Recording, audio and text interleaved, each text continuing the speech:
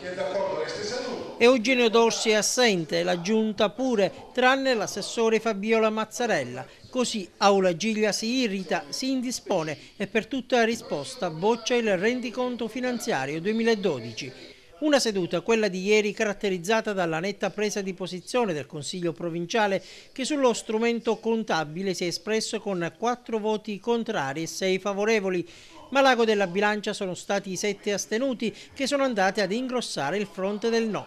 Dunque non passa il conto consuntivo, così come non sono passate le proposte del settore ambiente relative alla modifica delle delibere del commissario straordinario per la costituzione delle società consortili per la regolamentazione del servizio di gestione dei rifiuti ATO e l'approvazione degli schemi di statuto e dell'atto costitutivo delle nuove società consortili a responsabilità limitata. Il Consiglio ha invece approvato tre debiti fuori bilancio e la proposta di modifica degli articoli 3 e 8 del regolamento per la pubblicità della situazione patrimoniale degli amministratori provinciali.